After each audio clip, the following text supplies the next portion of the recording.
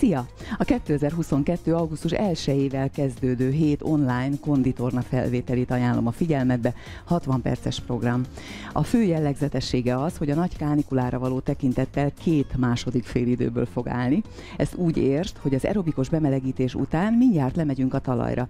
És ismert combizom, farizom, belső comb és hátizom erősítő gyakorlatokat fogunk végezni, valamint egy pár könnyű kézisújzóval lesz egy melvállizom erősítő gyakorlatsorunk is.